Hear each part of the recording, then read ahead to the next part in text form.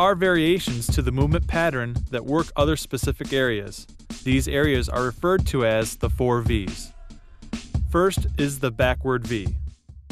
You start in front of the center mark and follow the backward V pattern. It is important to load on the back foot and hit all shots down the line. It really works on balance because you are forced to hit off the back foot on every shot. Next, let's look at the forward V. In this exercise, you start behind the center mark. Each ball is fed short, forcing you to move in and hit offensive forehands and backhands down the line.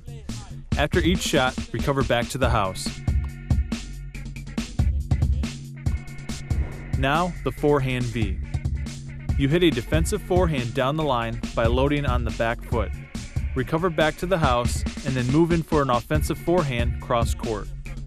This is an excellent exercise that helps build confidence.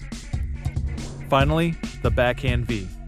Here you do the same thing as the forehand V, but this time you are only hitting backhands. For another variation, do it as a catch and toss without the racket. This will help you understand the movement and work on fine motor skills. This is used a lot to train children.